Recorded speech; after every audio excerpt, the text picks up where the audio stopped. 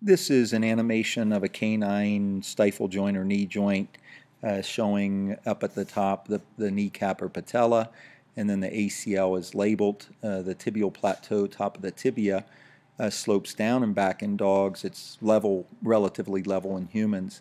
And this illustration is going to show the downward backward slide of the femur that places biomechanical stress and ultimately tearing of the ACL. And uh, then following that, the curved osteotomy that we perform to, uh, to ultimately do the tibial plateau leveling osteotomy. So here's the downward backward slide and the tearing of the ACL. And then uh, we'll make a curved osteotomy with a very slick uh, bone saw, rotate, and then fix that in place with a bone plate. Uh, the osteotomy heals uh, wonderfully as though it were never cut and the result is a nice level tibial plateau and the sliding motion is eliminated.